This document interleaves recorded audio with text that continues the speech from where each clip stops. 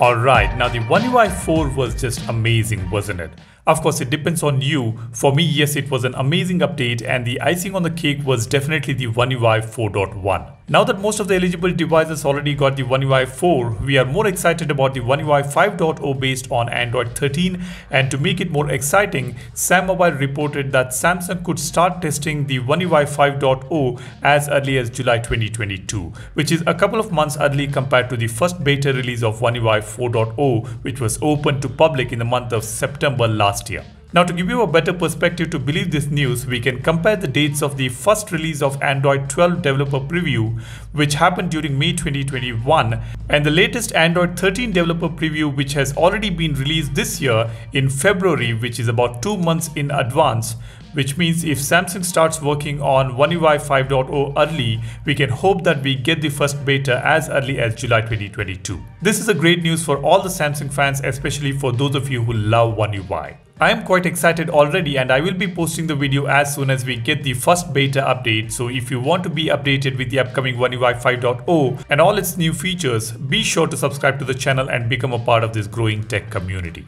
Now the Android 13 is expected to bring improved notification settings, more customization features and so on and we can expect similar enhancements on One UI 5.0. But if you ask me, I would say along with these new features, Samsung should focus on better battery optimization for all its lineup to improve battery life.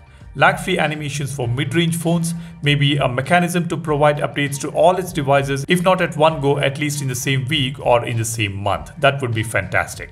Apart from these, Samsung should incorporate more features from the GoodLock modules because there are so many amazing useful features only available on GoodLock and did not make it to the main skin yet.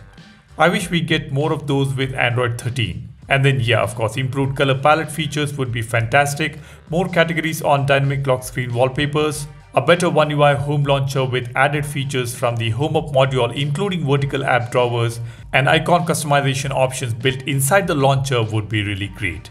These are just some of the features which came to my mind while making this video. However, I would love to see as many new features as possible. You guys share your wish list in the comment section below. Let me know what would you like to see on the upcoming One UI 5 on Samsung phones. Anyways, that's all I want to share with you guys here. Hope that the SamMobile's report turns out to be true and we get to see the first beta in July 2021. Fingers crossed.